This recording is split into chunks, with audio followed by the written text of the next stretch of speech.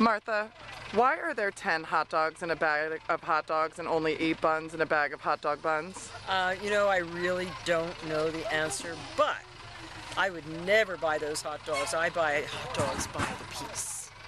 I go to Schaller and Weber on 3rd Avenue and 86th Street. They make really good hot dogs, and you can buy you can buy eight to go with those eight buns. Good idea.